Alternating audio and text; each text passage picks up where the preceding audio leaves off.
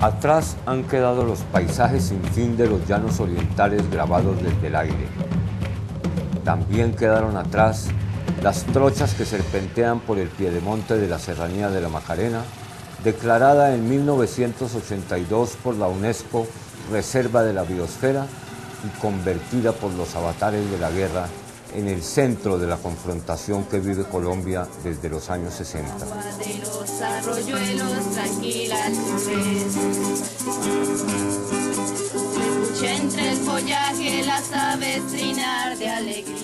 Con su color de plomo quedó atrás también el histórico río Guayavero, una de las muchas autopistas fluviales de la guerrilla por cuyo lomo han navegado 40 años de vida de las FARC.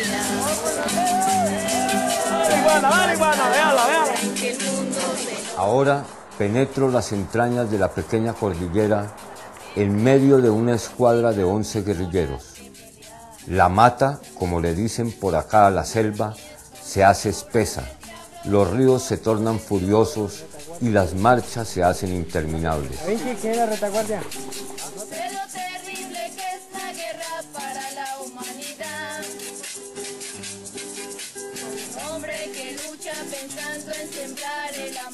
Voy tras las huellas de Tania Niesmeyer, una joven holandesa que ingresó a las FARC en el año 2002 y cuyo paradero es un misterio.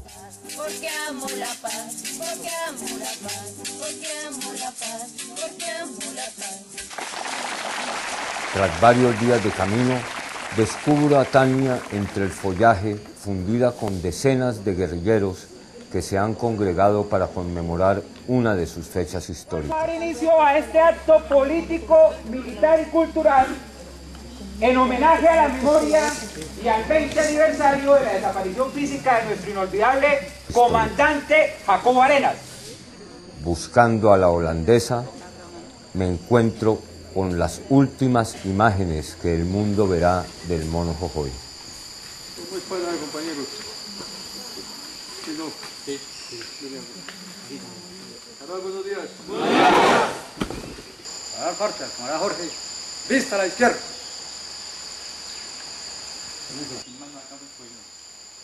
Vista al frente, a discreción. Camaradas, buenos días.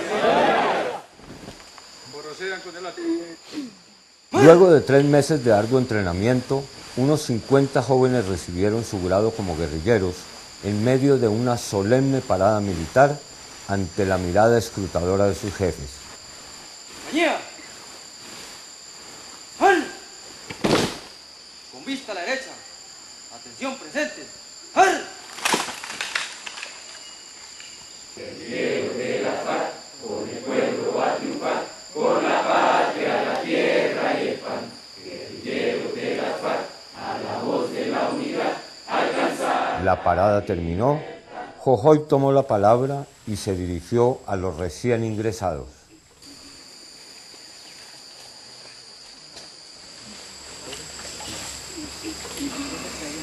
Este poco de besitos. Gracias.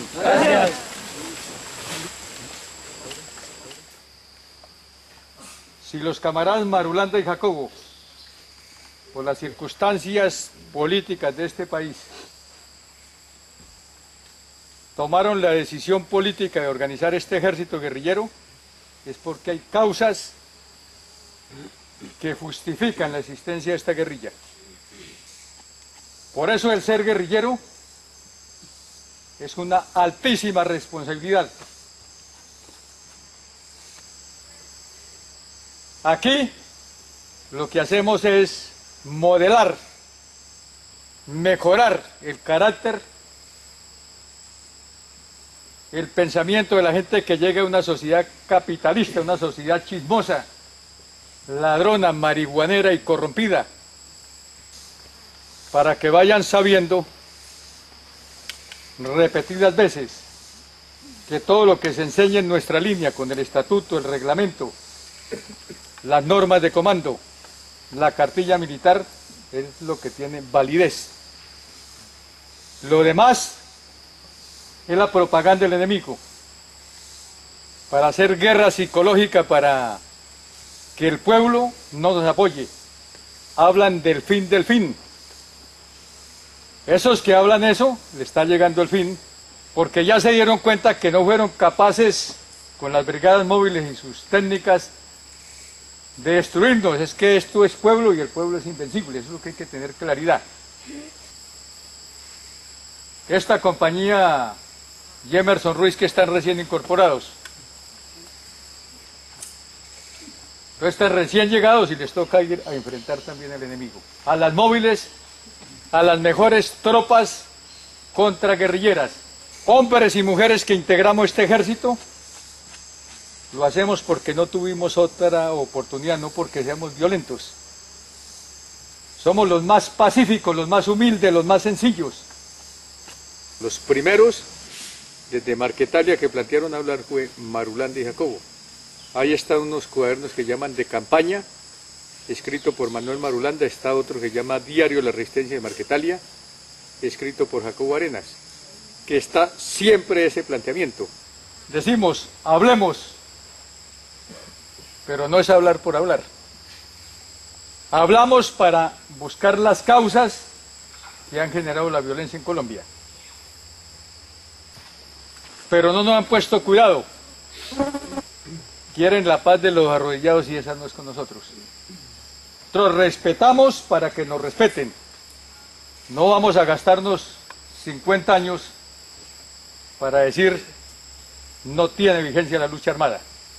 Las FARC venían, comandante, de un periodo de casi tres años de diálogos, de una zona despejada, ¿Qué tan duro les dio a ustedes ese tránsito repentino de la zona de despeje al plan patriota? El planteamiento político-militar, táctico, operacional y estratégico de la FARC siempre ha sido para unas guerrillas móviles, un ejército irregular. Entonces nosotros, durante todo el tiempo de conversaciones, tenemos eso muy claro. Entonces es un acoplamiento a la situación que se vive en el momento. Y además, en el gobierno de Pastrana habían cinco municipios despejados de fuerza pública, pero en el resto había confrontación política militar. Ellos quisieron desmontarnos y necesitaban un tiempo para mejorar sus fuerzas militares que estaban decaídas.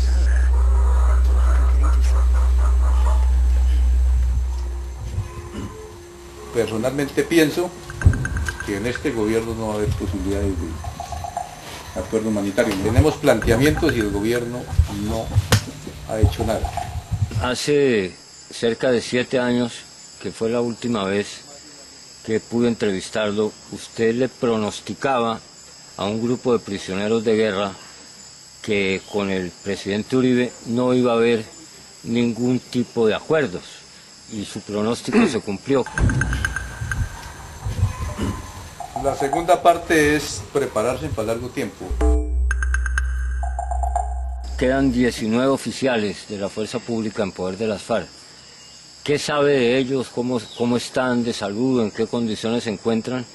¿Y qué piensa que pueda pasar eh, respecto a su, a su libertad?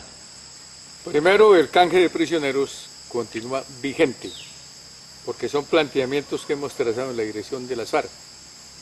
Por eso luchamos y el pueblo colombiano tiene que meterle mucha energía para sacar a esos suboficiales y oficiales de la policía y el ejército que están en nuestro poder.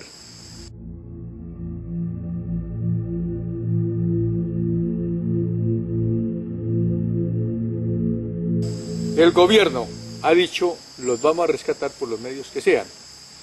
Y en ese orden ha habido unas acciones ciegas desgraciadas que han tenido la oportunidad de salir, algunos, pero eso no indica que todos puedan tener ese éxito. El objetivo es el canje y continuamos luchando por eso. ¿Qué noticias tiene de ellos? ¿Qué se sabe de su salud?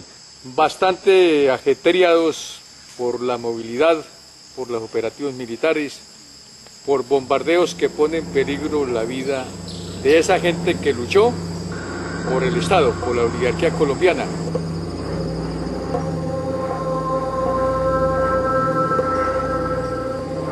Se ha especulado mucho, comandante, sobre eh, el supuesto aislamiento total en que se encuentran las FARC. Eh, se han acuñado frases como que están comiendo raíces, eh, se hizo un gran despliegue sobre supuestas cuevas donde usted se, encontraba escondido y de que ustedes prácticamente están desconectados del mundo. ¿Qué tan conectado con el mundo se siente el mono Jojoy? Nosotros nos encontramos plenamente conectados con el mundo. Estamos informados y hoy las FARC son conocidas en todas partes donde hay seres humanos. Que comemos raíces y comemos yucas, comemos papa, comemos arracachas y otras, y estamos muy bien y con el mejor estado físico porque somos atletas, somos móviles. La movilidad fue el gran secreto para que el ejército tardara ocho años, ocho meses y dos días en acabar con la vida de un mono jojoy acosado por la diabetes y a punto de cumplir los 60 años de edad. Hace apenas un año, el comandante del bloque oriental rompía un cerco de más de 15.000 soldados del ejército con esta marcha por la cordillera oriental en la que condujo a sus hombres desde las sirvientes sabanas sin fin del Meta hasta los páramos helados y misteriosos de los Andes.